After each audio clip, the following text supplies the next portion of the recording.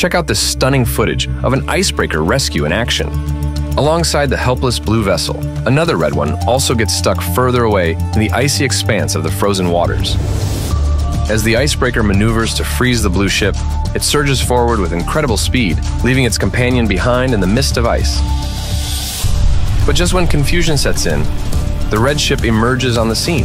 It turns out the icebreaker has circled back around the huge ice pack to pick her up. Now, it's the turn of the blue ship. Truly impressive.